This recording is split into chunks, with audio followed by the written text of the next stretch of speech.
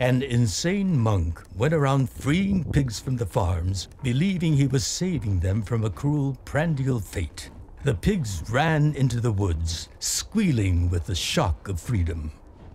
Most ended up being ripped to shreds by wolves. The rest starved, and the villagers went hungry that winter.